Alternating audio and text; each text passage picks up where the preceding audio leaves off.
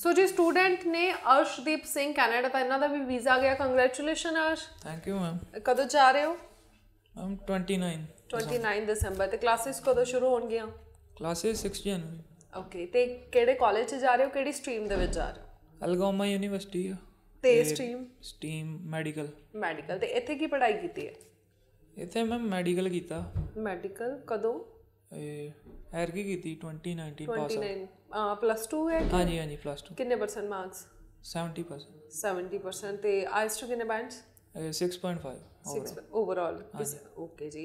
ਤੇ ਫਿਰ ਲੈਂਡਮਾਰਕ ਹੀ ਆਏ ਸਿੱਧਾ ਕਿ ਕਿਤੇ ਹੋਰ ਵੀ ਗਏ ਸੀਗੇ ਪਹਿਲਾਂ? ਇੱਥੇ ਆਏ ਮੈਮ ਇੱਥੇ ਪਤਾ ਕਿੱਦਾਂ ਲੱਗਾ ਇਹਨਾਂ ਦਾ?